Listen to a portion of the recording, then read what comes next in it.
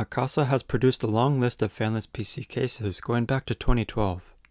Most of these cases have been designed for thin mini ITX motherboards or Intel NUCs with CPU TDPs of 35 watts or less. This finally changes with the Maxwell Pro, Akasa's first fanless case designed for desktop grade 65 watt TDP CPUs. Both Intel and AMD CPUs are supported, although there is no space for a graphics card, so make sure that the CPU includes integrated graphics. The Maxwell Pro case is made from black anodized aluminum with silver trim that they call a diamond edge finish. The fanless design is accomplished with four copper heat pipes that transfer heat from a thermal CPU block to the 4-inch cooling fins that make up the two sides of the case. It is powered by an internal DC to DC ATX power supply and an external AC to DC power brick. The case measures 11.1 inches wide, 8.3 inches deep, and 4.4 inches tall. It weighs about 6.7 pounds when empty. The Maxwell Pro is not yet widely available, but minipc.de does have it in stock for about 187 US dollars, including worldwide shipping. This price is lower than its direct competitors, including the HDPlex H1, Streacom FC8 Alpha, and Tormetal DP2. The Maxwell Pro is also now available as a custom pre-built PC from FullySilentPCs.com. For this test build, I am using the AMD Ryzen 7 Pro 4750G processor, ASRock B550 Phantom Gaming ITX motherboard, 32GB of Team Group T-Force Vulcan Z 3200 MHz DDR4 memory, a 1TB Western Digital Blue SN550 NVMe solid state drive, and a Minibox 120 watt Pico PSU kit. 120 watts is the bare minimum for a build with a 65 watt processor. A 150 watt power supply would do a better job for long term use, but the 120 watt unit was what I had available at the time and it worked well enough. You can skip the next 10 minutes if you want to get right to the test results, conclusions, and final build photos.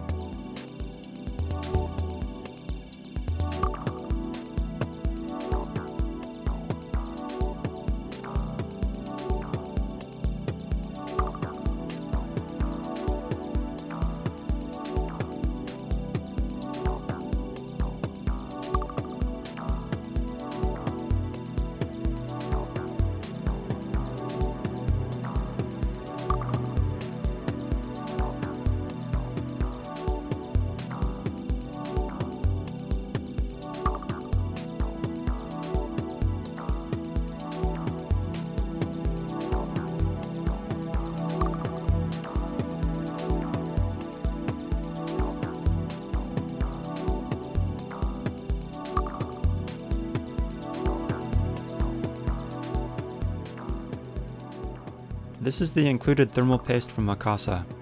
I realized at this point that it is a very viscous paste and not very easy to spread, so there is more applied here than necessary. It is better to have a little too much than too little though.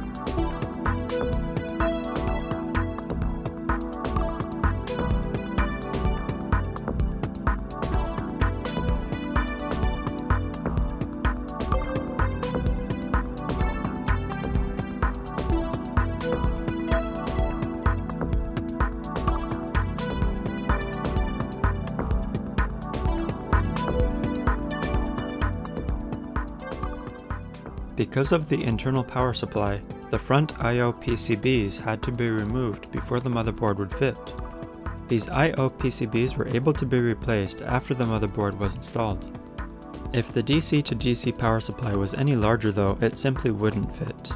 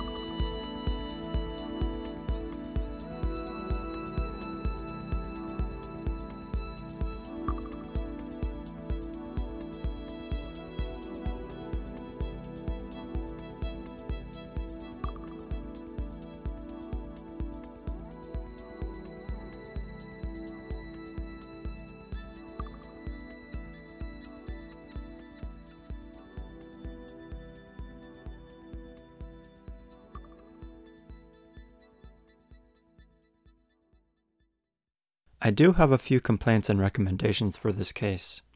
The first is regarding the internal power supply fit. Akasa does offer a power supply that I assume would fit nicely in this case, but it is not included with the case. The Pico PSU that I used just barely fit up against the front USB 3 cables, and I had to remove the front I.O. PCB before I could get it to fit. If Akasa moved all of the front I.O. to the left side of the case, this would not be an issue. Second, the Phillips screws that were used to hold the heat pipe modules to the walls of the case are sized for a number 2 Phillips screwdriver, but most Phillips number 2 screwdrivers would not fit between the cooling fins. Screws made for a Phillips number 1 driver or a hex key would make installation easier. Third, the aluminum CPU block is surely limiting heat transfer from the CPU to the heat pipes. While a copper CPU block would be more expensive, it would increase cooling performance and allow the case to be safely used with somewhat higher powered CPUs. That said, the case passed my thermal stress test with the Ryzen 7 4750G. I ran Prime 95's small FFT's torture test for half an hour and used hardware info to track temperature and power use. After half an hour, the CPU's maximum temperature was 87 degrees C after using a constant 78 watts. This was in a cool 18 degrees Celsius room though. If I were in a 25 degree room, the CPU could have easily hit its maximum temperature of 95 degrees. 78 watts is significantly higher than 65 watts though. I would recommend setting power limits to 75 watts or less when possible. If you are curious about the OEM-only Ryzen 7 Pro 4750G's performance, I ran Passmark's performance test as well.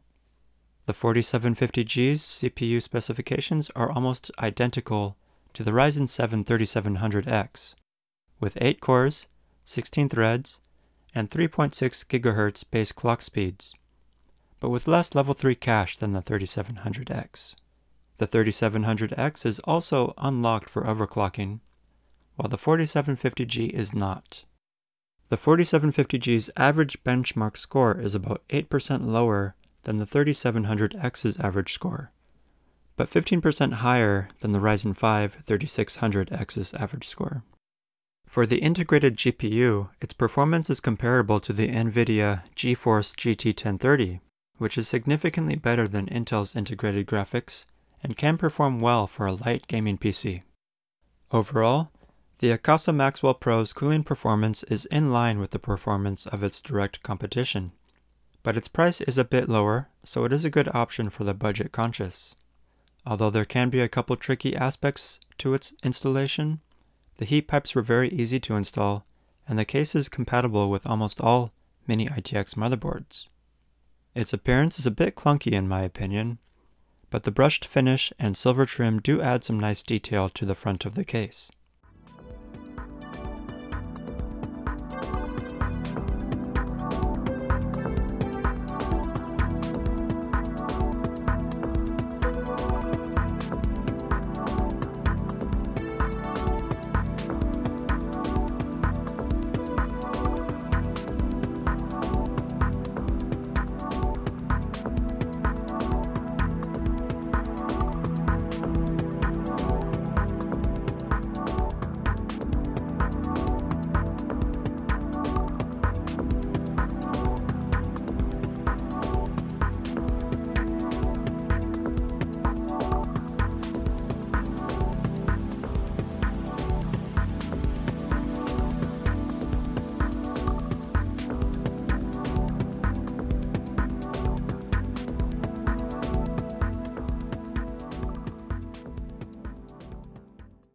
Like the video and subscribe for more fanless PC content. And visit fullysilentpcs.com if you are interested in purchasing your own pre-built fanless PC.